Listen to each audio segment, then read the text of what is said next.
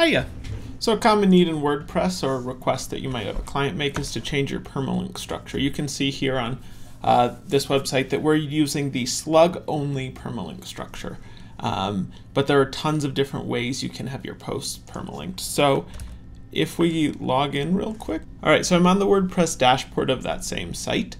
And I, if I come in here and I go to settings, permalinks, and every site will have settings. A lot of them will have fewer of these little things at the side. You can see that we've got post name selected. This is uh, what I personally prefer um, for a whole bunch of reasons, primarily around uh, that this lets me edit posts and revise them and keep them at the same URL because perfect URLs don't change. That said, you might like date and name, date and name sort of permalinks. So if I had a news site, I might think very hard about having things like this where people can look at all your 2019 stories, all your August stories, all your 23rd stories. That sort of structure in the URL is one of the really cool things about WordPress that I used to love a lot. And now that I'm in the SEO game, I don't love as much. But uh, all you need to do to save your settings is basically switch to one of these and hit save.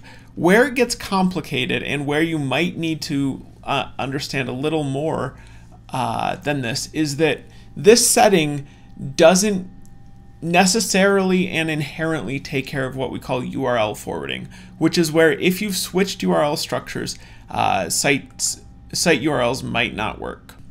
So if we're if say Google already knows that your URL is uh, something like this 2019.03 sample post and you move it to sample post, your server might need to tell Google, hey, it's here.